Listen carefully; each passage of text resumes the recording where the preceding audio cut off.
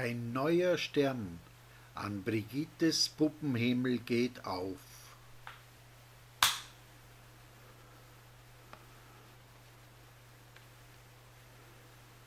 Kästner 208, eine Charakterpuppe mit Seltenheitswert.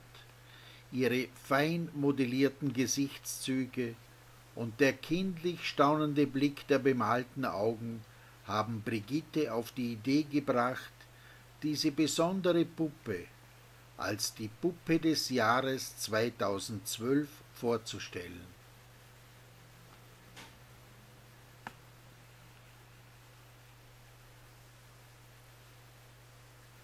Die feine Bemalung ist eine große Herausforderung.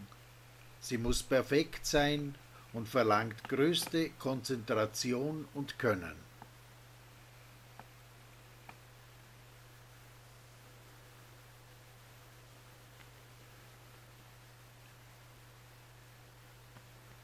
Das zauberhafte Kleidchen aus Seidentaft, das kleine Täschchen und die mit dem gleichen Stoff gefütterten Lederschuhe runden dieses kleine Kunstwerk ab.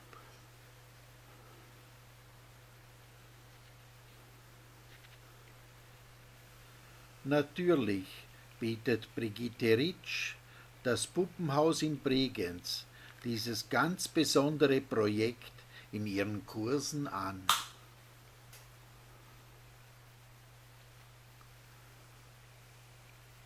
Wir freuen uns auf eure Anmeldung.